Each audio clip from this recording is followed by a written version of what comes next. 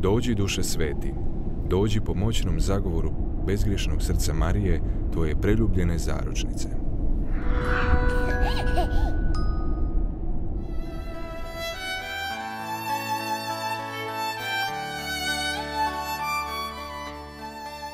Iz Evanđelja po Ivanu.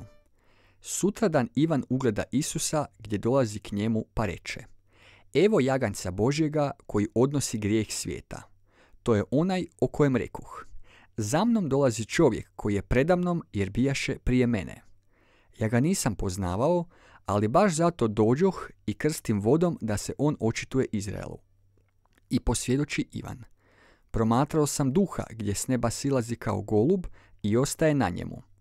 Njega ja nisam poznavao, ali onaj koji me posla vodom krstiti reče mi. Na koga vidiš da duh silazi i ostaje na njemu, to je onaj koji krsti duhom svetim. I ja sam to vidio i svjedočim. On je sin Božji.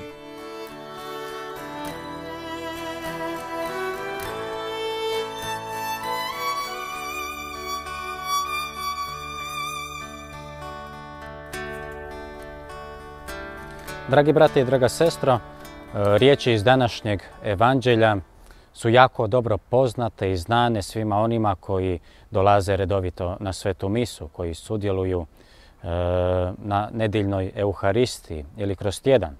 Kada svećenik e, govori evo jaganca Božjega i tada se dolazi trenutak primanja svete pričasti, primanja Kristova tijela. Jer upravo u tom evo jaganca Božjega i Ivan Krstitelj i svećenik želi nam ukazati zbog čega je to Isus došao zapravo na ovaj svijet. Da nas spasi. Da ono što nas vuče u propast, da ono što nas kalja, ono što nas upropaštava, da to makne. Da makne i da nam dadne slobodu. Ono što je drama svakog čovjeka, to jest da ja i ti zapravo ne znamo živjeti u slobodi. Zapravo prividno i želimo tu slobodu, borimo se za tu slobodu, a kada dolazi sloboda, mi ne znamo živjeti tom slobodom. Čovjek na neki način samog sebe želi zarobiti. Evo Bog nam želi dati slobodu. Zaista nam želi, evo kad imaš slobodno vrijeme, kad imaš slobodan trenutak, da ne otiđeš raditi nekakve gluposti, nego da zaista znaš živjeti onim što ti Krist donosi.